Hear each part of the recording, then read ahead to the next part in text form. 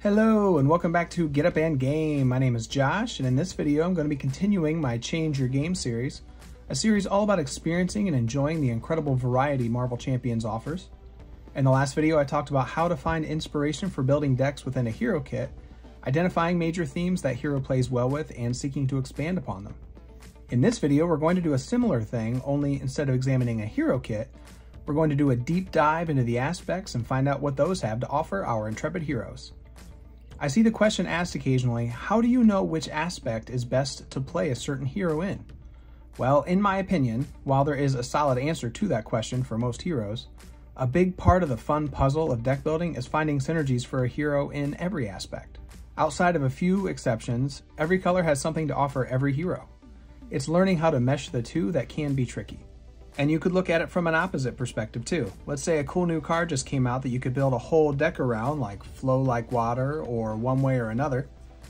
These tentpole cards create brand new strategies or enhance existing ones to such a degree that you can't help but be excited to build that deck.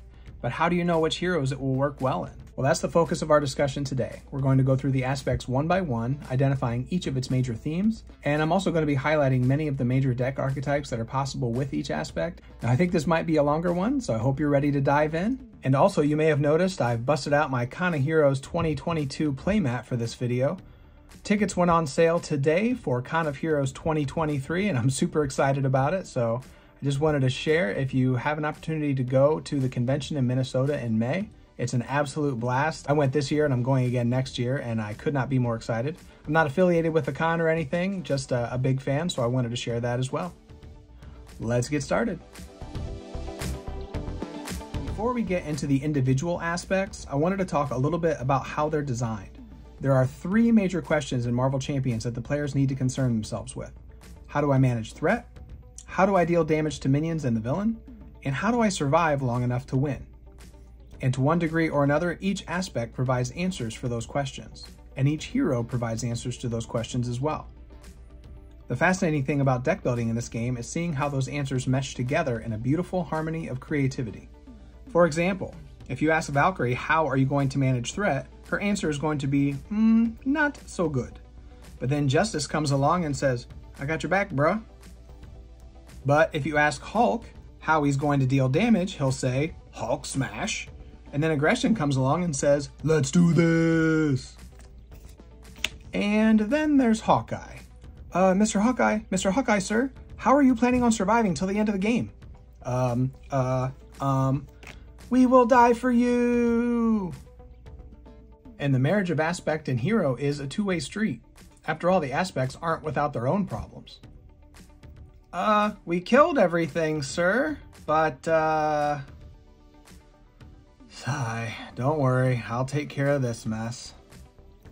Aggression might be able to kill everything, but it's going to struggle with the side schemes. Then Justice comes along and cleans everything up, but... Why is the villain still at full health? I'll take care of this. Justice not so good at chunking down the villain's health. And protection, well, help me. Sigh. And then, of course, there's leadership. Hey, do you guys need some help? No, no. We're just fine. The point is, while an aspect can be used to shore up a hero's weaknesses, the hero kit can also be used to balance out where an aspect is lacking. This is why I love the deck building in this game so much and why I'm trying so hard to encourage everyone to give it a shot. Okay, on to the actual aspect talk. So when looking at the major themes of justice, we're going to be talking threat management and being rewarded for threat management. Justice is also where your alter ego likes to hang out. Now when it comes to threat management, Justice is so good at it that it actually has four different ways to do it. The first and most obvious way is through events. For Justice and Clear the Area are so cost efficient, they could probably end up in just about any yellow deck, and they're especially good at dealing with side schemes. But past those, they start to get a little more hero, player count, or scenario dependent. Lay Down the Law is good if you are a flipping hero. Yaw and Roll works well if you're aerial. As well as Agile Flight, though this is probably a little bit better in multiplayer where you have more threat to remove. Speaking of multiplayer, Crisis Averted is another good option since it removes such a big chunk of threat. even the odds can remove a whole bunch of threat off side schemes. The more players, the better. I really like multitasking in scenarios with multiple main schemes like Venom Goblin and Tower Defense, or if you just know you're going to be seeing a lot of side schemes, but I wouldn't put this in just about every deck. And if you're going to be playing a lot of events, be sure to bring along a sense of justice to help pay for them.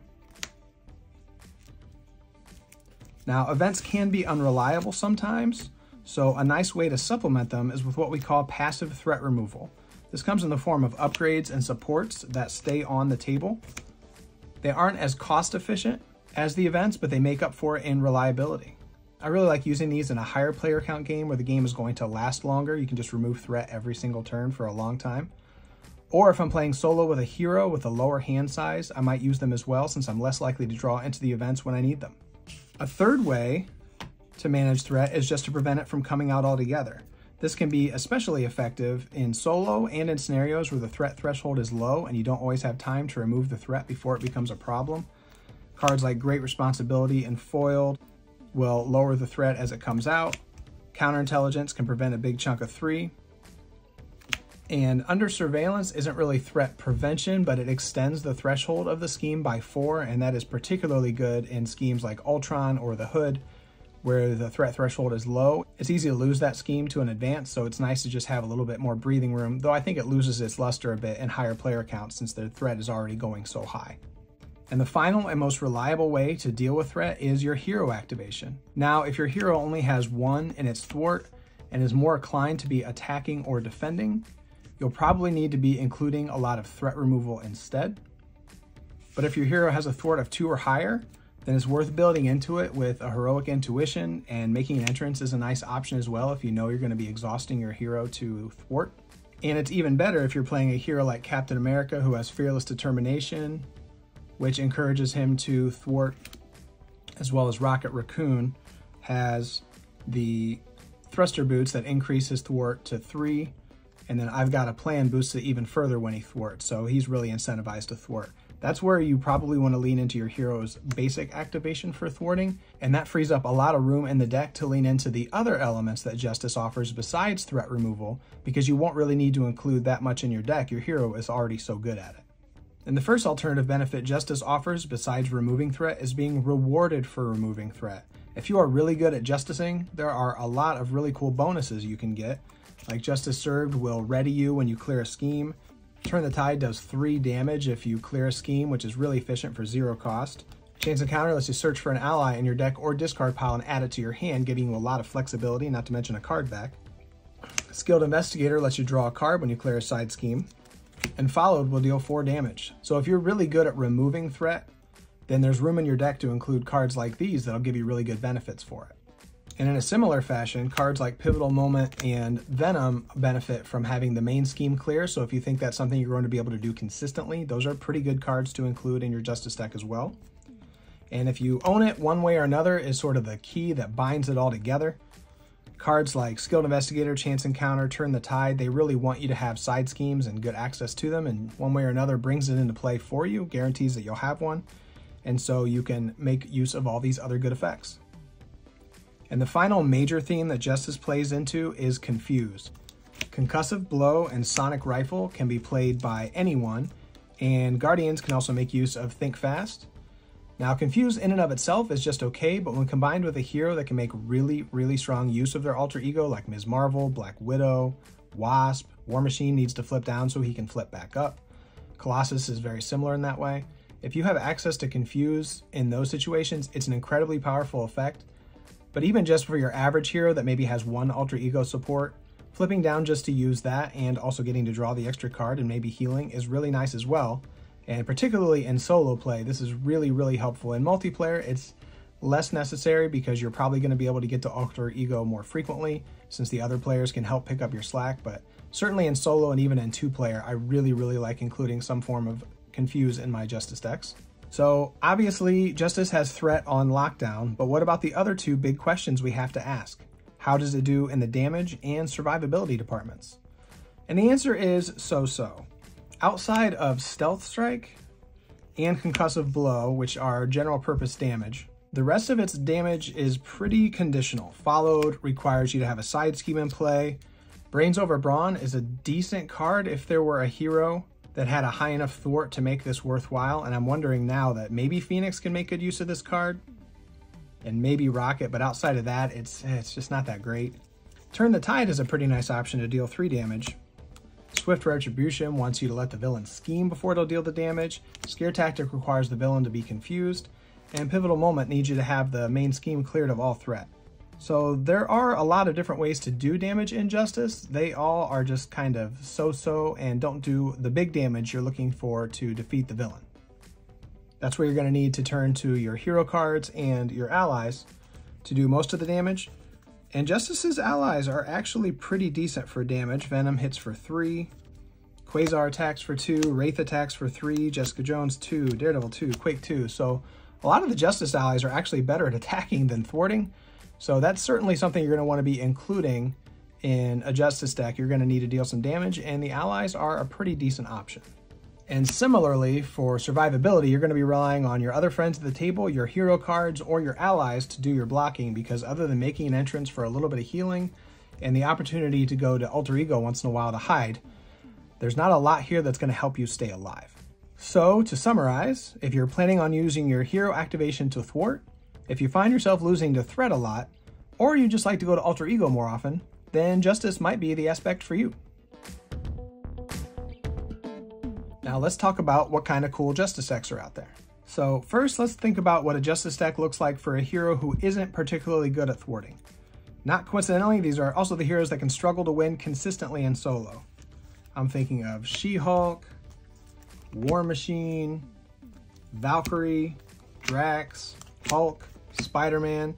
These heroes have more than enough damage potential to get the job done, but if too many side schemes pop out or the advance comes out at the wrong time, that's gonna be a loss. In this situation, I would keep it nice and well-rounded, nothing too fancy. We just need to keep from getting bogged down on threat before these guys can use their hero cards to do what they need to be doing. So a nice mix of thwart events, a little bit of confuse, and some pretty solid allies make for a really nice solo Justice deck for the types of heroes that really don't have room to include the fancy stuff. You just need enough help to keep the threat under control long enough to win. Another well-rounded deck in Justice is the Shield package from Miles Morales. If you've got Sinister Motives, you can just take out all Miles extra cards and pop them into just about anyone else. Though I would remove the Web Warrior stuff and put in allies or other cards that are more appropriate to the hero you're playing. But the shield stuff just works so well on its own. It kind of doesn't even matter what hero you're playing with. It gives you really good threat removal, damage, some fun combos to play around with. So if you've got Sinister Motives, this is a Justice deck just waiting to be put with any hero. But certain heroes can play it better than others. If you've got a hero like Black Widow who has some shield traded cards, Captain Marvel has some ties to shield, as well as Hawkeye, these heroes can make particularly good use of the shield deck, but really it's fun in just about any hero. Now I mentioned one way or another earlier, but this card really does make a whole deck in and of itself.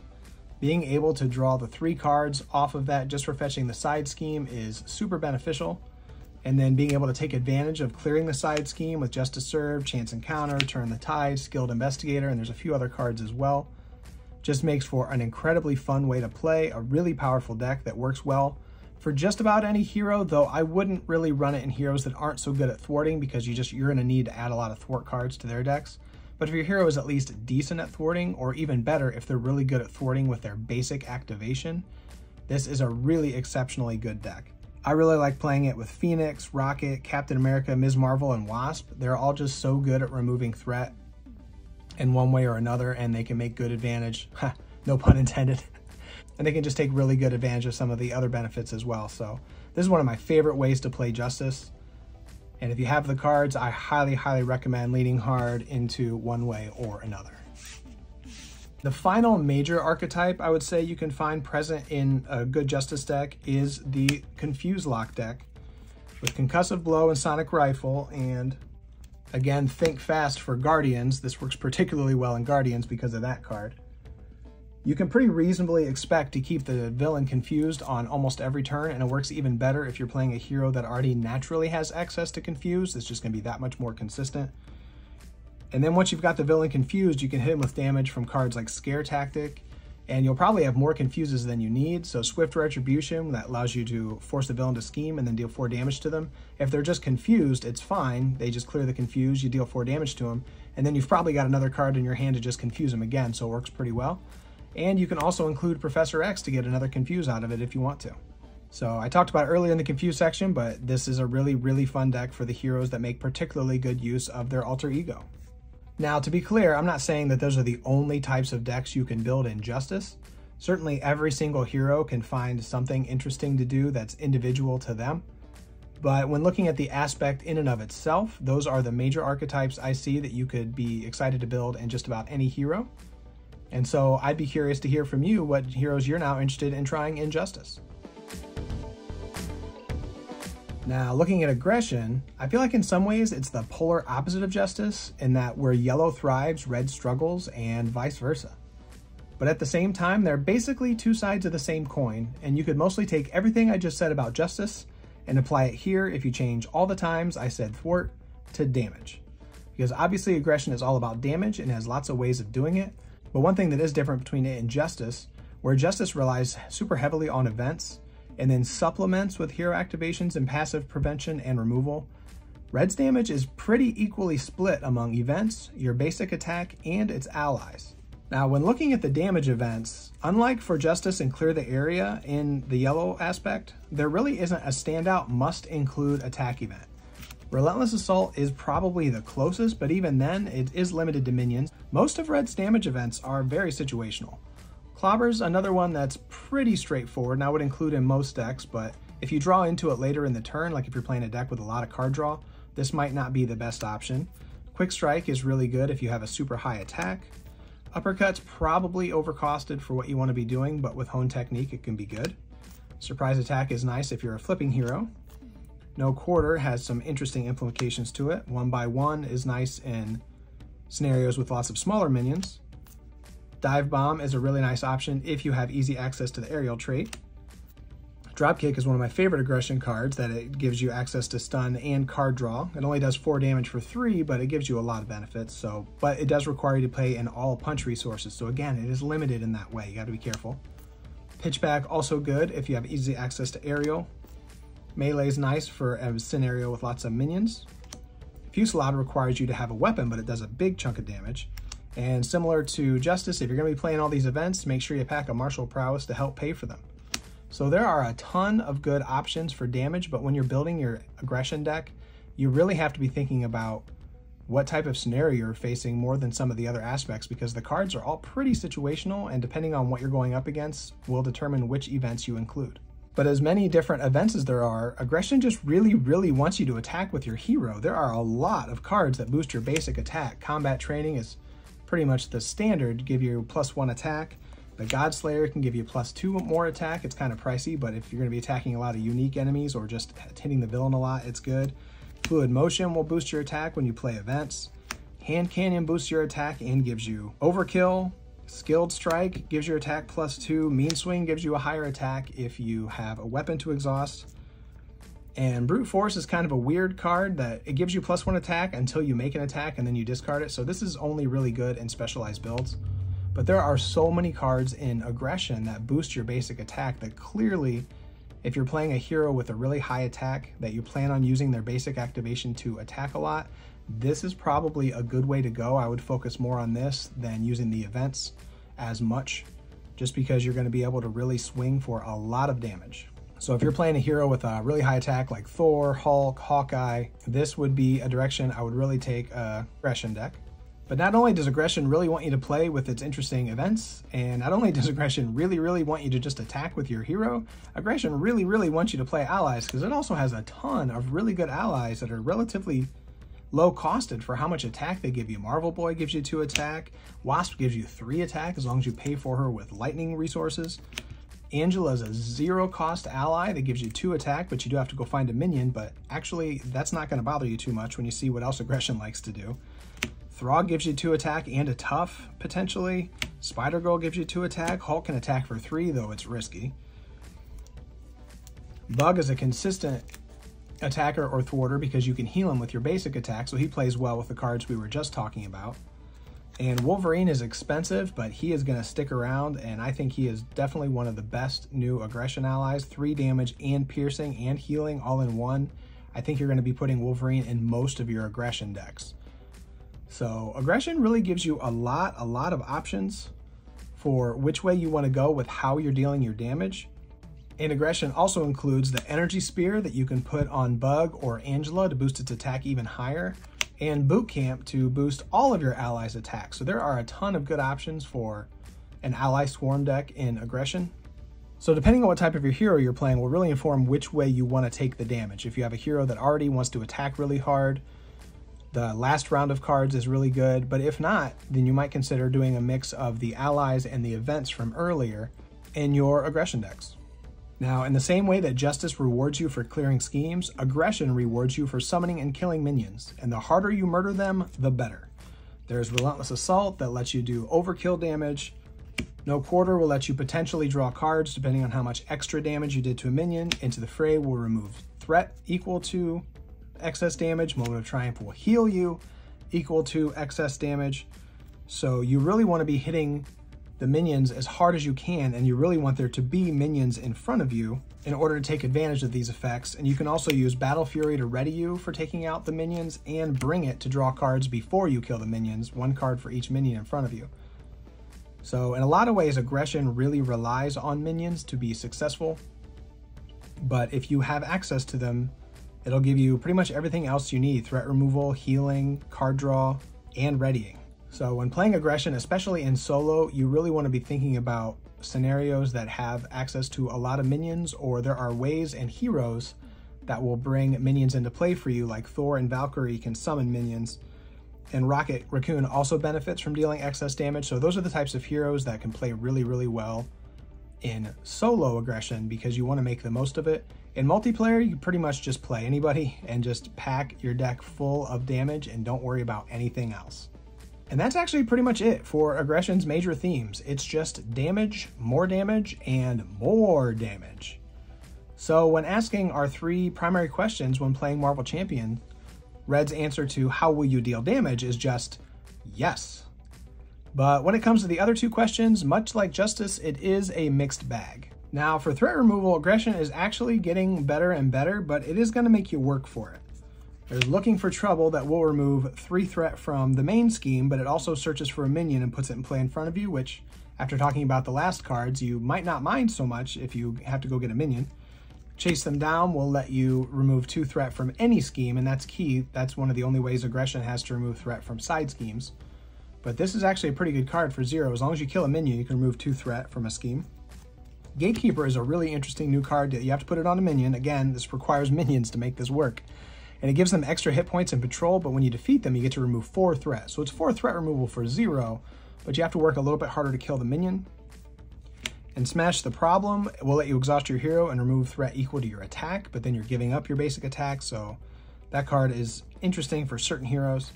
And you'll pay for that, lets you remove threat from any scheme after you take a big chunk of damage.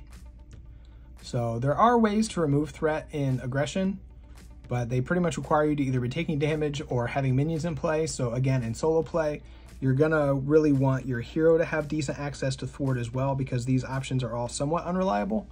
But in multiplayer, you don't really care about removing threat anyway, so that won't be a problem. And as far as survivability in aggression goes, I think it actually goes in the wrong direction.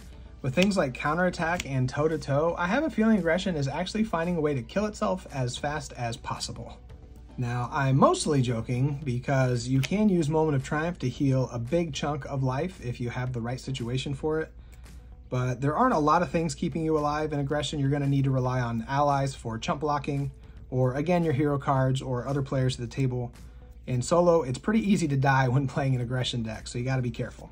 So, in summary, if you're a fan of the Cobra Kai school of thought, strike first, strike hard, no mercy, sir! You have a hero that already wants to be attacking, and you're actually happy when a minion pops out of the encounter deck, an aggression deck might be right for you.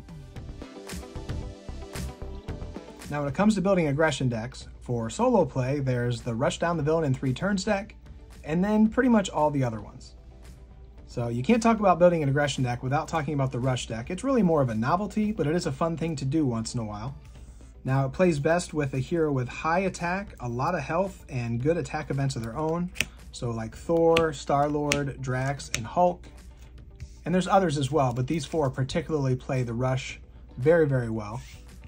Basically, you just want to be doing a basic attack with your hero and pumping it up with Skilled Strike for 2 extra damage, Hand Cannon for 2 extra damage, Mean Swing for 3 more damage if you have a weapon, Fusillade for 5 more damage if you have a weapon, and if you have access to good attack events like Drop Kick and Clobber and things like that, you just want to be hitting the villain for his maximum damage every turn. On the second turn, you're going to flip down to Alter Ego so that you don't die. And then on the third turn, you're going to flip up and try to win. And if you don't win on that turn, you're probably going to lose because you've just been getting hit in the face by the villain and they've been doing as much scheming as they want. So this can be fun once in a while, but you either win in three turns or you don't. But like I said, that's really more of a novelty than an actual deck. If you actually want to play the game you took time setting up, a more reliable way to play aggression, especially in solo, is to use a lot of those cards. They're good, but make sure you bring things like Chase Them Down to remove some threat, Relentless Assault to deal with minions, and just more general all-purpose cards. It's not going to win as fast as the Rush, but it's more consistent, and you can actually deal with some of the threats as they appear. This is sort of like your basic solo aggression deck. It doesn't do anything fancy, but it gives you access to what you need and along with the cards in your hero kit, you're gonna win a lot more games than just trying to rush and either win or you don't. Now this works particularly well if you're playing aggression in solo with heroes that can thwart really well, like Phoenix or Rocket, Gamora, Spider-Woman, Black Panther, pretty much any hero that isn't super bad at thwarting should be able to handle this kind of deck and still win in solo play. Now another deck that will work in solo play, but it works even better in multiplayer just so you have time to set up, is the minion summoning build I mentioned earlier, especially with Thor and Valkyrie, but a lot of heroes can do this. Use cards like Looking for Trouble to force a minion into play with you. Angela can also bring a minion into play with you. The more minions you can put in play that you can handle without dying, you can then use Bring It to draw a lot of cards off of those minions. Hall of Heroes will also reward you for killing minions. This is just a super, super fun way to play aggression, drawing cards and killing minions over and over again. And all that card draw is really going to let you build up your board state, so when it's time to bring the damage to the villain, you should have everything you need in play from your hero kit to really, really be able to finish off the villain and win the game. And like I said, this works particularly well with like Thor and Valkyrie, who already are somewhat rewarded for killing minions, Rocket as well. But pretty much anybody that would like to see minions to make good use of their abilities, like Cyclops. Vision's another good one because he could ignore a lot of the damage from the villains when he's in his intangible form. Nova wants to have a lot of minions to kill in order to make use of Unleash the Nova Force. So this is a pretty good all-purpose aggression deck that you can play with a lot of heroes. Another aggression deck that can be really fun but works best in multiplayer because it takes a ton of setup is the Brute Force deck. Basically what you're trying to do is increase your basic attack with brute force, combat training, things like that. They're going to give you permanent boost to your attack stat, but you don't actually attack with your hero because otherwise you would lose your brute force. But you can get three of these into play and a combat training, that's going to be giving you plus four to your attack. So, if, and if you're already playing somebody like Hawkeye or Hulk that has an attack of three already, that's seven. And then this trio of cards that came with Valkyrie, Quick Strike that deals damage equal to your attack, Smash the Problem that removes threat equal to your attack, or the Best Defense that gives you bonus defense equal to your attack. These can be extremely powerful because your attack is so high. And if you're playing someone like Scott Lang, Ant-Man, who has access to his giant strengths for his giant form that give him another plus one to his attack. You can do some insane things with this. So this is a really fun way to play. I recommend bringing some form of readying like Earth's Mightiest Heroes if you're playing an Avenger, just because you do have to exhaust to use those events. It would be nice to ready up if you had another one in your hand. But that's a really fun way to play aggression. But like I said, it works best in multiplayer just because it takes so long to set up. You're going to need everybody else to sort of manage the game for you while you're building up. But once you get set up, you'll be the one who brings the game home. Another very popular thing you can do with aggression these days is with Hone Technique. This upgrade, once it's in play, gives your attack events plus damage equal to their cost. So for example, Relentless Assault, instead of dealing 5 damage, would deal 7, as long as you pay for it with a mental resource. So you do have to keep that in mind. But you can definitely build a whole deck around this. This is another one that I think probably works a little bit better in multiplayer, just so you have time to set up. But the fact that it increases all of your attacks by so much, melee deals 6 damage and 6 damage, Uppercut now becomes a swinging web kick by dealing 8 damage. And if you have access to the aerial trait, where this probably works the best, you can then of course play Dive Bomb to deal 11 damage to one enemy and 5 damage to each other enemy. It's just insane. So once you get Hone Technique set up, you can do a ton, a ton of damage. Not to mention, it'll help you with effects like Moment of Triumph, Into the Fray, and No Quarter. You're going to be dealing even more excess damage, healing more, removing more threat, and potentially drawing more cards. So there's just a lot of good things that Hone Technique can do for you. So that is a really fun way to play. I highly recommend for aggression. And the last deck I want to highlight for aggression is just what I would call the all physical resources deck. Probably come up with a more creative name. But basically, every card in the deck should have the physical resource, so like martial prowess, combat training, hand cannon, skilled strike, mean swing, dropkick. These are all useful cards anyway, but they all have just the physical resource, looking for trouble, uppercut. And what that's going to allow you to do is very consistently trigger Jarnbjorn to deal an extra two damage every single time you attack. And it's going to let you safely attack with Hulk because you're going to be able to trigger that fist deal two damage to an enemy pretty reliably. You don't have to worry as much that you're going to hit the lightning to deal damage to every character, or even worse, the mental to discard Hulk. So when you know that the vast majority of cards in your deck are all physical resources, that gives you a ton of leeway to lean into Hulk and Jarnbjorn, plus all those other cards are solid anyway. And heroes that can particularly make good use of it, like Captain America, who can produce his own physical resources as well and Quicksilver. We can ready that friction resistance over and over again to keep triggering Jarnbjorn. So that is actually an awesome, awesome aggression deck that I highly recommend you try out. So there was a whole bunch of fun ways to play around with your red cards. Now, if justice and aggression are two sides of the same coin, protection is the odd one out. While it has all the answers you need to the question, how will I stay alive?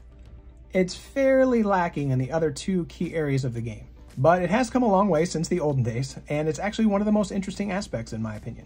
Now, at its heart, protection is all about improving your defense action, preventing damage, and healing. Basically, not dying. Unfortunately, not dying isn't an effective strategy for winning this game. In fact, exhausting to defend is the least impactful thing you can do with your hero. Thankfully, there are a ton of effects that will ready you and also give you other bonuses along with the defending to make it a little more worth your while.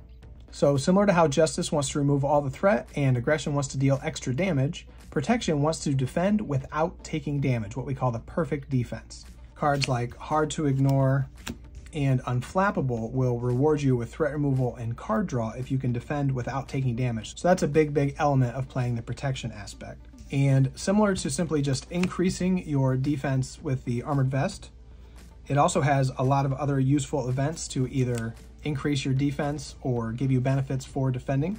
So cards like Desperate Defense and Never Back Down will give you extra defense for that defense, and if you don't take damage, you either get to ready or stun the villain, and those are super, super useful. But not only do you increase your defense in protection, you can also just prevent the damage as it comes in, Energy barriers are very nice for protecting one damage at a time. Sidestep prevents three damage and can deal a damage back potentially.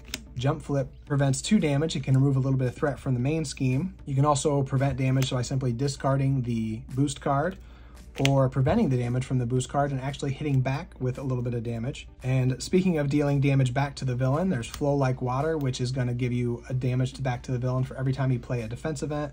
Powerful Punch is an amazing new card for protection that deals 4 damage back to an enemy that is just now attacking you. There's always been Counter Punch that will deal your attack damage back. Electrostatic Armor is basically another version of Retaliate. So there are a lot of ways to hit the villain back. You're not taking damage, but you're hitting them back. It's a little bit at a time, but it's actually a really fun way to play. Now, if you manage to keep any cards in your hand by the time you get back to your turn, there are quite a few other things protection can do for you. There's actually quite a bit of readying in protection. Indomitable will ready you after you defended. Repurpose lets you discard a tech upgrade, gives you bonuses to your basic stats, and readies you. This is a really interesting newer card. What Doesn't Kill Me will heal you and ready you. Ever Vigilant will remove some threat and ready you if you have the aerial trait. This is a super good card for aerial heroes. Leading Blow is a really good option for heroes that have a pretty high attack. It lets you ready after you do an attack as long as you deal some damage after a boost flip. And so it's just nice that there's a lot of different ways to ready your hero because like I said earlier, exhausting to defend has the least impact on the game. It'd be better to be attacking or thwarting. There's there's more tempo gained in those. So, you know, leading blow doesn't help with that, but these other four are ways to potentially ready you after you defended. So these are really, really nice if you're playing a hero that is going to defend a lot. There's also quite a few healing options in protection. It's not really a strategy to lean into, but it's nice to get a little health every now and then. What Doesn't Kill Me, we just talked about a second ago, uh, heals you for two as it's readying you. Second Wind can heal a decent sized chunk, 5 damage if you pay for it with mental, but for 3 resources there's probably something better you could be doing with your turn. Med Team is actually a pretty nice option. You'll get 6 healing out of it total for 3, but you can also use it on allies and other heroes. So there's a lot of versatility in that card. Momentum Shift is just a nice simple, you heal 2 damage and then deal 2 damage to an enemy.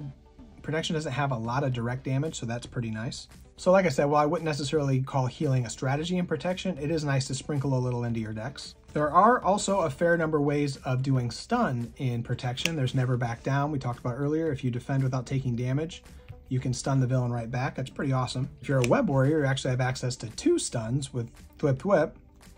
Iron Fist is one of the best allies in the game because he can stun twice and still take a hit for you, all the while dealing three damage with each attack. And Tackle is also a really nice option too for stunning the villain and doing a little bit of damage. So sprinkling a little bit of stun into your decks is just a nice way to not even have to worry about defending at all. And we're not done yet. Protection has even more effects like Tough. Now, Muster Courage works for Avengers. You can dole out Toughs equal to the villain stage number. So if you were playing Expert, this could be worth two or even three Tough cards. For three costs, that's pretty good. Perseverance gives you a Tough when you change form, so either from Alter Ego to Hero, or if you're playing a hero like Shadowcat or Spectrum that changes forms, you can get a tough out of that. That's a super good card. Shake It Off is really good for Guardians. After you take damage, you can just get a tough for one cost. And Hard Knocks is another rare example of direct damage and protection where you can use it to deal 4 damage to an enemy. If it defeats the enemy, you get a tough status card. So this is an underrated card I don't see played a lot, but I think this could actually be really good for certain heroes. So similar to Stun, if you can get a tough on your turn, then you don't really have to worry about the villain attack that round. And weirdly, Protection is also becoming the home of encounter card manipulation. And we've always had Black Widow that let you cancel an encounter card, but then you have to reveal another one. And we've gotten some newer ones here. Return the Favor will allow you to basically summon a Treachery, but then you get to deal 5 damage to the villain. Spider-Man Noir will collect Treacheries underneath him, and then he gets boosted stats based on it. And Spider Tingle will let Web Warriors cancel Treachery cards. So Protection has a lot of different ways to control the villain, whether it's stunning them or giving you tough, and you can also play around with the encounter cards a little bit. So Protection obviously has a lot of different elements to it, and we know that it can keep you alive, but how are its thwarting and damage? Now, on the damage front, it's actually getting better all the time. We talked about Hard Knocks, Momentum Shift, are pretty decent options for damage. First hit is just okay. It deals two damage for one, but it could be useful in the right builds. Like I said earlier, Powerful Punch is an amazing new card that deals 4 damage when an enemy attacks you. This could kill a minion when it pops out, and then you never even have to worry about its attack, so that's really good. Counterpunch is okay in the right hero if you have a decent attack stat to go along with your defense. Return the Favor is risky because it's going to summon a Treachery card, but it does deal 5 damage to the villain, which I would consider that chunk damage. 5 damage is going to help you win the game. Fighting Fit also deals 5 damage, but only if you're at full health, so there's some interesting things you can do with a card like that. So there are quite a few options for direct damage on your hero turn, along with all the ping damage that you're going to be doing during the villain phase. But it can be a little bit difficult to directly affect minions, just because Hard Knocks is kind of expensive, Powerful Punch requires them to be attacking, things like that, so it's not as simple as just, boom, knocking out minions but there are ways to work around it. But as for removing threat, well, let's just say you better hope you don't see any side schemes. There are a few ways to help control the main scheme, like Hard to Ignore is really good when you're going to be defending.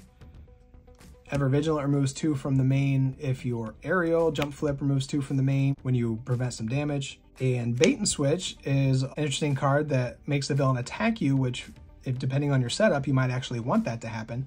And then it removes four threat from the main scheme. But none of these cards interact with side schemes, which can be a real problem for protection. Some crisis comes out, or just like some side scheme with a really detrimental effect, and you're playing protection in solo, can really, really be a problem. There is True Grit that can affect side schemes, but it, it requires you to defend against an enemy attack, and then it removes threat equal to your thwart. There's not a lot of heroes that are really good at defending and also have a thwart stat that's worth playing that card for, so I, I don't know. I haven't used that one much. So in solo protection, you're going to be relying on your allies and your hero cards to removing the threat.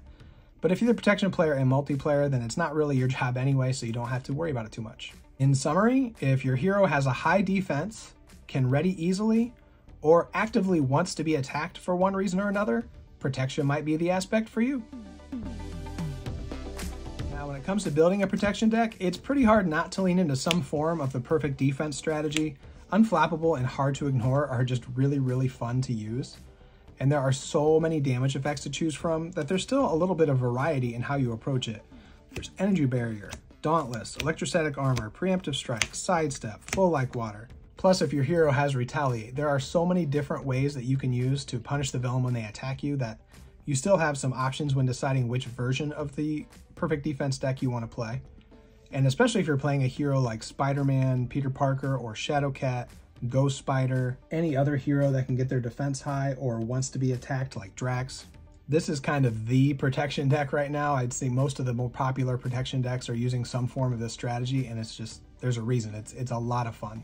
This works pretty well in solo because all that damage really adds up and you can just take the villain down. And if you play a version of this in multiplayer that has a higher emphasis on readying your hero, with cards like Indomitable and Desperate Defense, or using Never Back Down to stun the villain, you could pretty much defend for the whole table every round, and that can feel pretty good in a four-player game.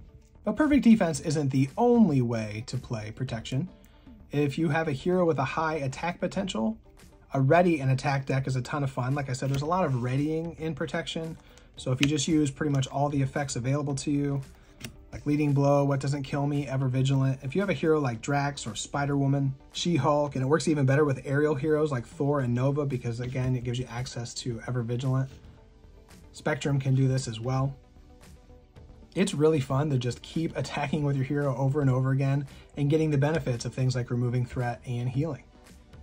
This is actually one of my favorite ways to play protection, just readying and attacking over and over again, especially, and I mentioned Nova, but because it also readies the helmet every time, this, this is a really fun way to play Nova. In a similar way to the attack and ready strategy, you can also just ignore damage altogether and continue to attack cards like Defensive Stance, Force Field Generator, Pin Down, Jump Flip, Defiance, Subdue. There are so many different ways that you could be preventing damage, Sidestep, or Perseverance to gain Tough, things like that.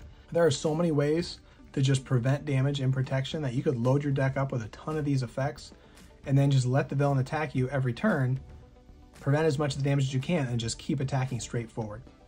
This is another really fun way to play protection in solo. Now it's uh, a little bit less reliable because there's a lot of effects that trigger when the enemy attacks you these days, a lot of nasty boost effects, or villains get bonuses like Magneto gets those counters and the Infinity Gauntlet can trigger, things like that. So this isn't uh, the most reliable strategy, but I do think it's a really fun way to play.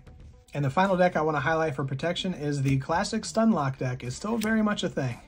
Tackle, Iron Fist, and Never Back Down are still really great options to just lock the villain down and not let them attack, especially if you're playing a hero that already has access to stun in their kit, like Captain America, and there's a lot of other ones that have at least one or two stun effects in their kit. So as long as you're not playing a stalwart villain, Steady, if you have enough stuff stun in your deck, Steady is still fine.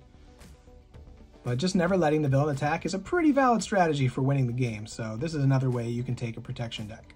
Now I know protection doesn't tend to be a lot of people's favorite aspect, but I hope this gave you some fun ideas for trying out some green decks. And finally we come to leadership, where justice and aggression know exactly who they are and what they're about, and protection is kind of a beautiful mess. Leadership is the aspect that binds all things together. If we are asking, how do I manage threat, how do I deal damage, and how do I survive long enough to win the game, Leadership's answer is super easy, barely an inconvenience. And it all comes down to one thing allies.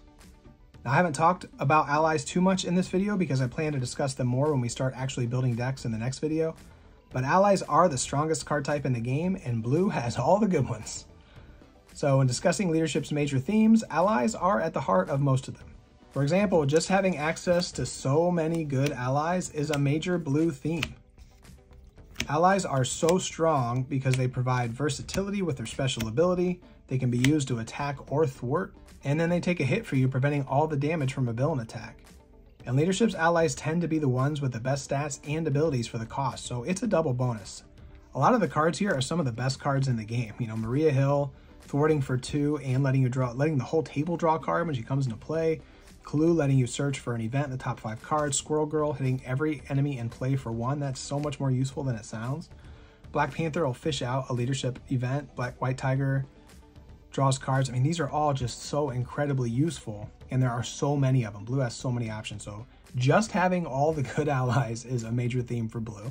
And it's allowed to have one more ally than everybody else because it also has access to the Triskelion. Now, the thing that is meant to balance the power of allies is their disposable nature. Unlike upgrades and supports that should stick around for the whole game, allies are temporary and fragile. That's where our next major theme comes in, recursion. We have rapid response, regroup, and make the call. So yeah, allies are supposed to be disposable, but blue has a lot of really reliable ways of just bringing them back from the dead.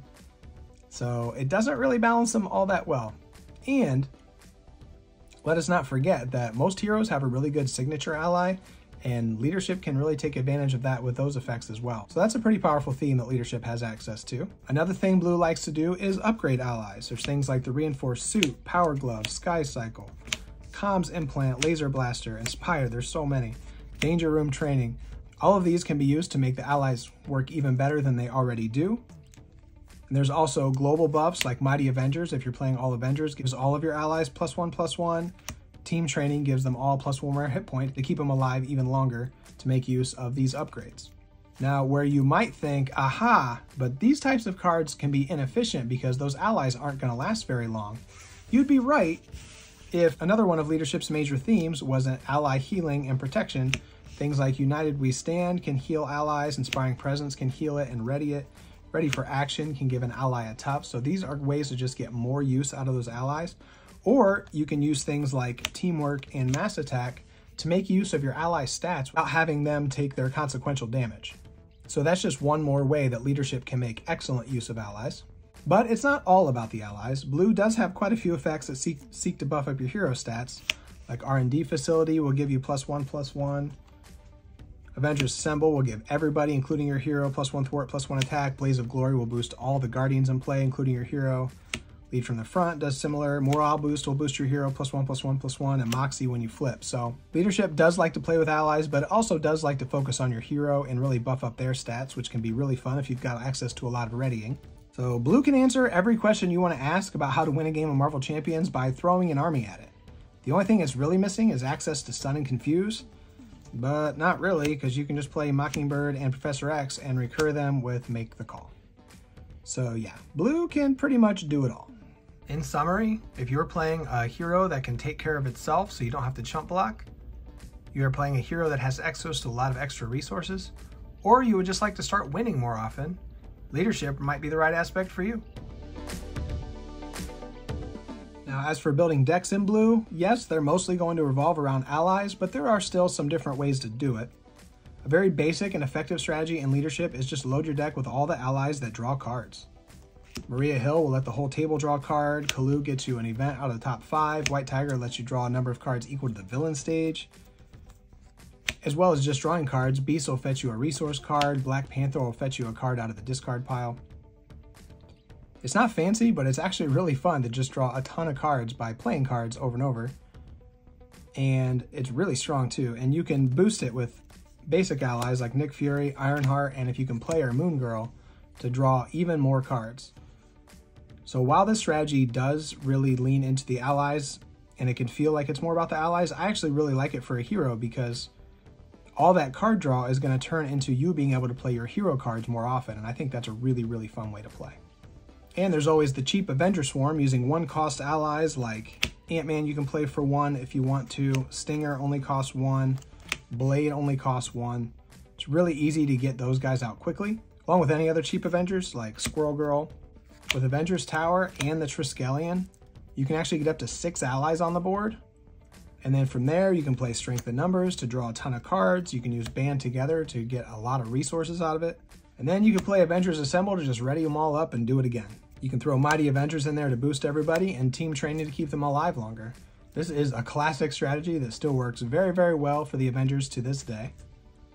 Instead of trying to get a bunch of allies on the board, you can just play one and then pile on the upgrades affectionately known as a Voltron deck. Here you want to play an ally like Iron Man or Ronan or Yondu. Iron Man gets discounts on upgrades. Ronan gets a boost just for having an upgrade.